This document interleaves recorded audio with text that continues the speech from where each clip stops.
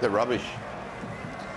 Uh, look, this is the biggest club in the country. There's 24,000 season ticket holders, stroke members, as you call them over here.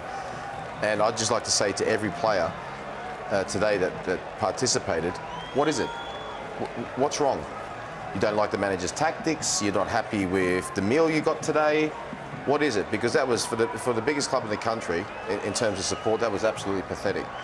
You know, you, you come back into a game with a wonderful goal. You think, okay, it's a massive game for you. You know, it's against Adelaide. It's one of your biggest rivalries.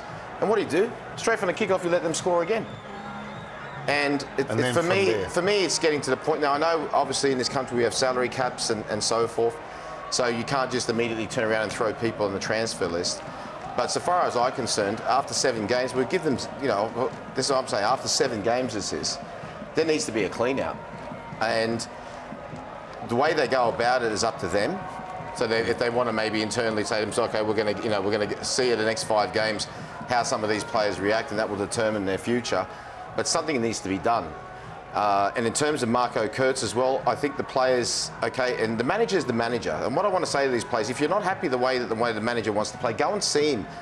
You know, you've basically showed that in some of the performance that you've done. So the, my best advice to Marco Kurz is is to see them one on one, and my best advice to the players is be a man, tell him the truth. Hmm. If it's that you don't like the way you're playing and it doesn't suit you, then tell him that. And then Marco Kurz has got to try to meet it halfway. You've got to be very careful as a manager how much you give into player per player. But this can't continue. Not for Melbourne victory. This continues. They won't even make the top six. Hmm. Because that tonight, that was just, that was pathetic.